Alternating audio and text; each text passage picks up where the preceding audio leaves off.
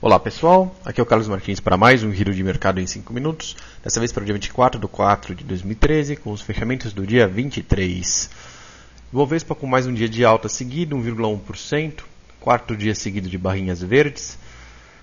Muito claro que ele está indo em direção aqui à, à linha de cima do canal de baixa, só que ele encontrou pelo meio do caminho a resistência de 55.125 pontos, né, uma resistência bem forte, ele bateu lá, ficou um tempinho, depois não resistiu, agora no final do pregão caiu um pouco.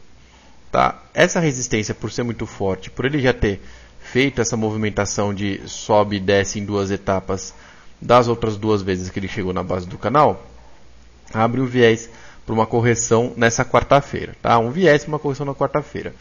É, a gente sabe que ele faz o que ele quiser, mas realmente existe essa possibilidade. Falar agora da OGX, que já fez um movimento contrário, né? Ela foi lá bater na linha de tendência do Fibonacci Fan, que ela estava longe, então se aproximou, fez a máxima lá em cima, né? A máxima dela 1,73, tá? Mas no final ela acabou caindo, pra, voltou para 1,54, de quebra fez um sinalzinho bem feinho aí, dando a impressão de que ela tá em vias de voltar a cair e se manter na faixa 1,60 1,28. Né? Então ela deu um sprint, mas está realmente fazendo essa movimentação mais feia aí que indica uma baixa. A gente tem um gap bem grande que ela deixou para trás aqui para ser fechado. Tá? Nem sempre ela fecha os gaps, né? porque ela tem uma volatilidade muito grande, mas de qualquer forma é uma sinalização que fica para trás e ele fecha no 1,37. Tá? A mínima de hoje 1,51 percentualmente é um valor muito mais é, alto, né, do 1,51 até 1,37, mas na prática ela se movimenta bastante desse jeito, então dá para imaginar que ela possa vir fechar esse gap. A Vale que saiu da moita pela segunda vez, né, e para cima, ela finalmente perdeu aqui o 3104 e fechou lá em cima 3185.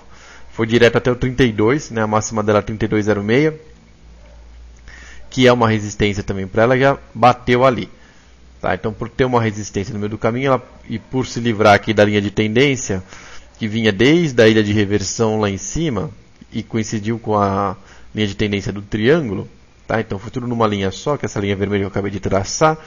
Por perder essa linha novamente, a gente mais uma vez espera que ela tenha enterrado a sua tendência de baixa, mas isso daí a gente tem que ver a confirmação, né? Porque da outra vez também parecia isso, no dia seguinte voltou tudo, né? E não largou mais o osso, dessa vez parece que ela largou, mas a região de 31 e 32 ainda é uma região forte, muito provável que ela se mantenha nessa região pelo menos mais um ou dois dias.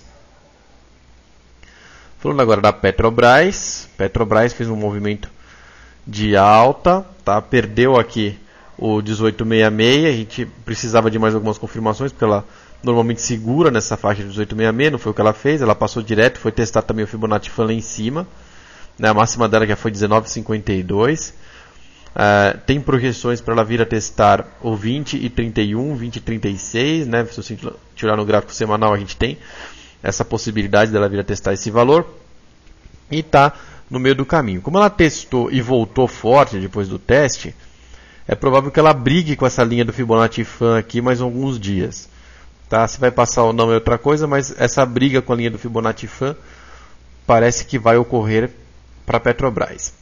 E para encerrar as nossas análises, vamos mostrar aqui o Dow Jones que fez um movimento ao contrário de baixo para cima aqui na linha de tendência, né? Subindo um pouquinho aí, ou melhor, um bastantinho, 1%, 14.700 de volta, mas abaixo da linha. Tá? O que, que isso quer dizer, né? Ele perde, faz o pullback, que aí sim parece muito bem aqui a formação do, do ombro cabeça ombro, né? Com essa máxima aqui, isso aqui fica muito bem claro, porque a gente tem dois fundos exatamente no mesmo patamar, que é o 442, tá? E o fundo apareceu depois disso aqui, então tá dando uma clarificada aqui nas cotações. Essa aqui é uma resistência de qualquer forma e também tem essa linha de tendência acima. Se passar da linha de tendência, desmonta tudo que a gente está fazendo aqui e a gente volta a olhar os, os horizontes lá para cima. Segurando nesse patamar, a gente tem muito provavelmente aquela correção que aponta para o 279 e para o 14.050. Agradeço muito pela presença de todos e até o próximo giro de mercado em 5 minutos.